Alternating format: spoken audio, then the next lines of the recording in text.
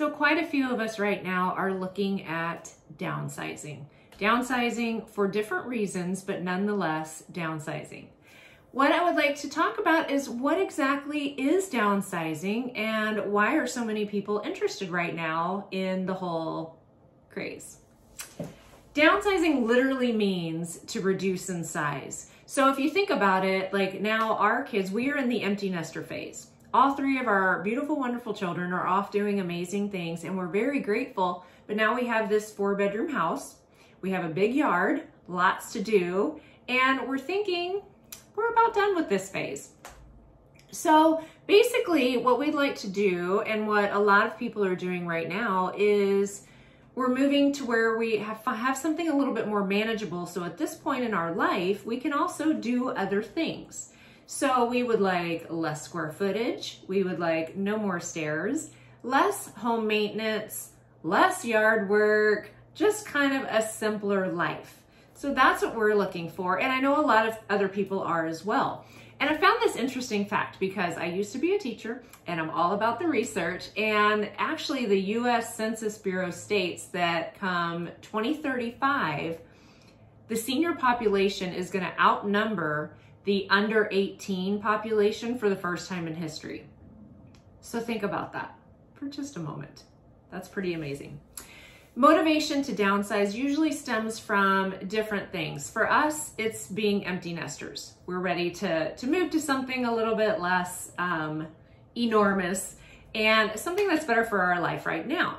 But it could be other types of changing events too. Um, when people go through a divorce or if there's a death in the family if you were in some type of accident and you have a bad back and the home that you're currently in it has a lot of stairs and a lot of yard work and things like that. So now we want more of a rambler. We want something with less uh, maintenance and upkeep. Maybe you are retiring, getting close to retiring. And when we retire, we want to downsize our home so we can upsize our life because you know what? We have earned it. We have worked hard for a lot of years and the things that we want to do now is not spend all of our weekends doing the yard work and taking care of things around the home, especially when there's a lot of space in the home that we are not using. So the problem with this phase of life, uh, whatever it is, for whatever your reason for wanting to move, sell your home, downsize, whatever else, it can feel super overwhelming there's so much to do that we kind of get that analysis paralysis. You know, you've, you've been here so long, you've got so much stuff. It's such an enormous task to think about moving, to think about doing all the things. So I thought what I would do is help break it down into some simpler chunks. We just take like, they, what do they say? How do you eat an elephant? One bite at a time. I do not eat elephants, but anyway. Um, so just some little bite-sized chunks. When you are ready to downsize, you can start doing some things now. So even if you're not ready to sell, but you know what, you're just starting to think, perhaps in two, three years, we're going to be ready to sell. Retirement's right around the corner. Um, just, just different life experiences or things that may happen. So you're just kind of, it's, it's in the back of your mind right now. Well, a huge help that you can start working on right now is starting with decluttering.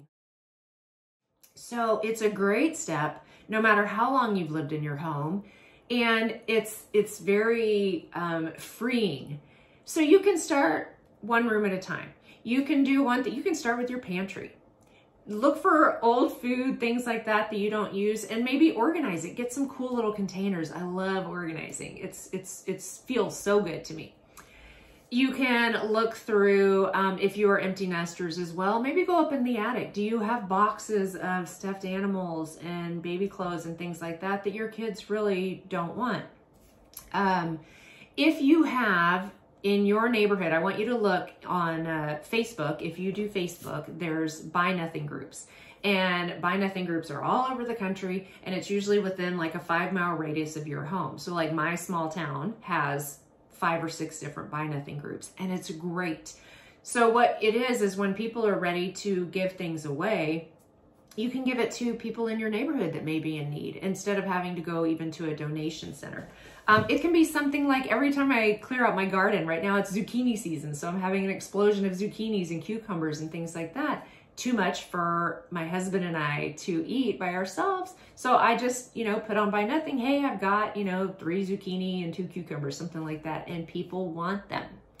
Um, clothes. You know, a great thing on Buy Nothing is uh, baby items or kid items. You know how quick our kids outgrow things and it's turned into almost like the share thing. So now we gift it to somebody that can use it. And then when they're done with it, they can gift it to somebody else. And it's a great thing. Anyway, it's called Buy Nothing.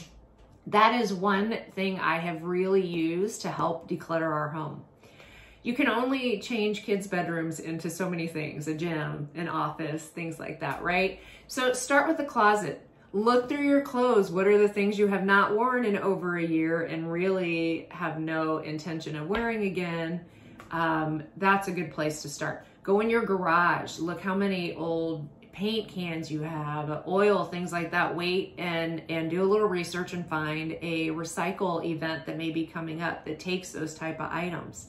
Um, you've got old sports equipment, old you know hunting equipment, car equipment, tools, things like that. And then you can move in, like I said, one room at a time. Cleaning out my kitchen cabinets was like the most freeing thing. There's all these old appliances or new appliances that were never used. And I gift them to people that will use them. Uh, and if you, if you, if it's really nice or it's brand new, sell it. Sell it on OfferUp. Sell it on Craigslist. Sell it, you know, somewhere at a garage sale, whatever. Uh, but it opens up so much space and it makes you feel so um, organized and accomplished to have spaces get cleaned out, just room by room. Some of the other things you may want to do for empty nesters especially, maybe it's time you want to do a little more travel. Well, it's hard to travel when you have a yard that overgrows when you're gone, right? Um, so you want to look for something maybe a little bit smaller. Maybe you want to do some RVing. That is great. Maybe you want to um, rent for a year until you figure out what your next steps are. You want to go ahead and sell right now. Well, we have a hot market, right? A good seller's market. And you want to rent for a little bit. Uh, maybe you want to move to a 55 and up community, something like that, where you don't have kids running all around the neighborhood. I love kids. I used to be a teacher.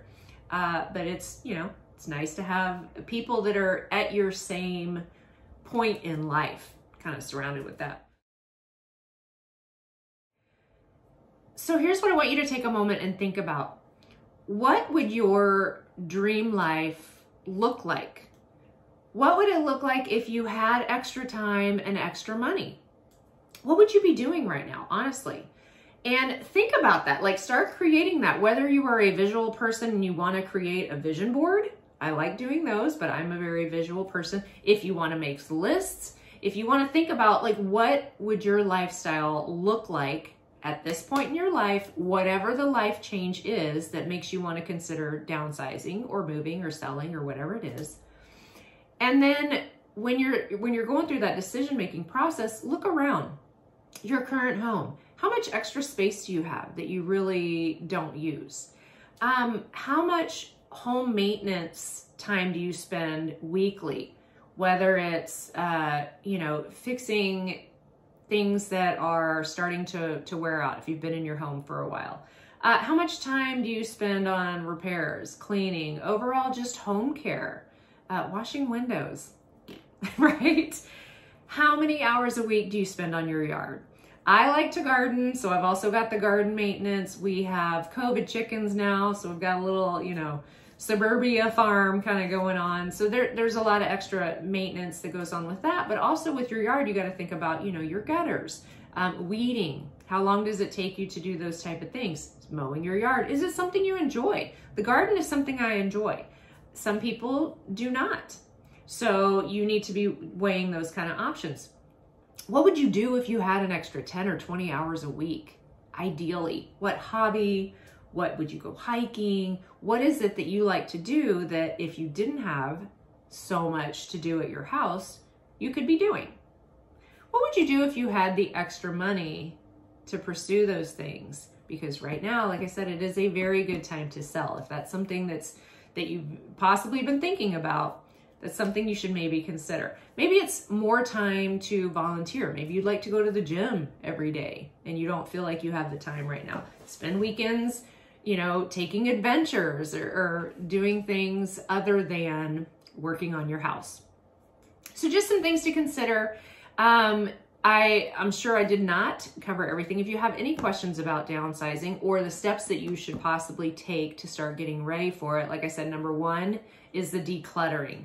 So find yourself a good decluttering guide. You can watch some of my other videos that I have where there are some helpful tips. Um, you can go to my website, suzzysunshine.com. There is a section on DIYs and decluttering, things that you can do, but that is a great first step. And then come back each week. I will have a new video each week on things that you can do when you're ready to buy or sell or any other real estate questions that you may have. Feel free to ask, feel free to uh, send me a message, and I will get back to you as soon as I can. And have a lovely day.